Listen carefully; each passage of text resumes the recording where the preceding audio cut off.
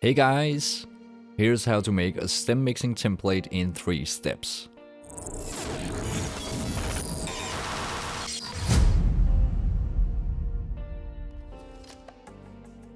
Step 1.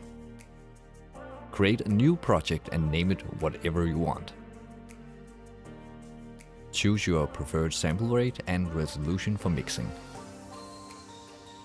Step 2.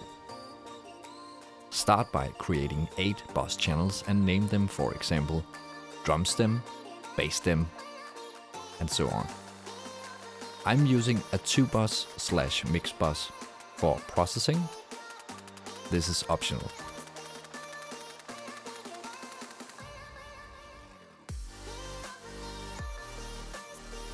Step 3. When you are creating subgroups, aux channels with reverbs or other effects, make sure you route these to the corresponding stem. Now, send your drums and effects to drum stem, the bass instruments to bass stem, and so on.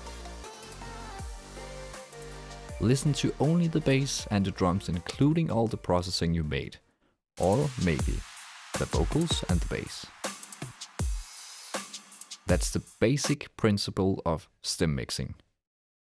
I hope you learned something new. Have a good one and happy mixing.